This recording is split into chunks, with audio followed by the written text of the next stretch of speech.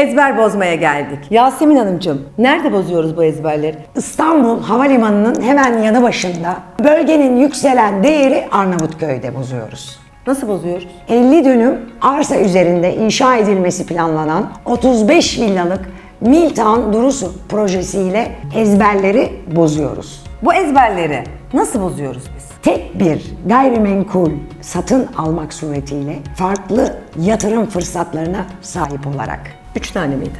Üç. Üç tane. Bizi takip edin. Ezber bozan üç tane yatırım fırsatı dediniz. Evet. Nedir bunlar? Birincisi fırsat fiyatlarla satışa sunduğumuz arsaları ilerleyen süreçte satarak ciddi bir kazanım sağlayabilirsiniz. İkincisi Milten Holding güvencesiyle yapılacak olan villalarda oturum olanağından faydalanabilirsiniz. Üçüncüsü ise yapılacak villaların satışından ciddi bir kar payı alabilirsiniz. Yani ben sizden arsa alacağım.